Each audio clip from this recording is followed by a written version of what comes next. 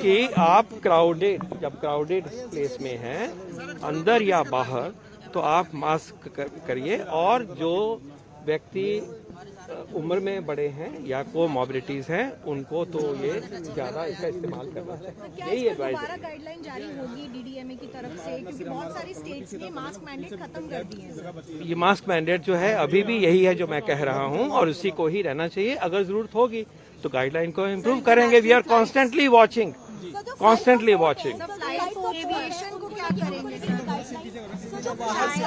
sir जो last point आप बोल रहे थे पहले बता दीजिए। पहले चाइना वाला बोल दीजिए पहले जो लास्ट पॉइंट बता रहे लास्ट पॉइंट यही है कि एग्जिस्टिंग गाइडलाइन जो मास्क की हैं जो मैंने कही वही हैं कि मास्क हम क्राउडेड जगह पे हैं बाहर या अंदर हमें मास्क पहनना चाहिए।